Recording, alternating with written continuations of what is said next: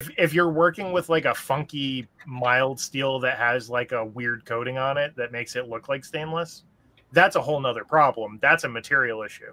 Yeah. But because mild steel doesn't have the same protective situation, your engraving would probably hold up better than the you know the rest of the it. metal. Yeah. I think like we'd all argue example. that's pretty unlikely, though, I, Yeah. given the on a pizza gutter. situation. Yeah. Yeah. So hope that helps. I know that was probably longer than you were looking for, but that is a complicated topic and also a reason why we haven't approached color marking yet uh, as a video because there's just there's so much to it and there are definitely going to be people who are upset with the results they get because of not fine tuning the results they're getting. No one's nobody's going to be happy with that content. no. So so we'll get there eventually probably but it's just it's not a right now thing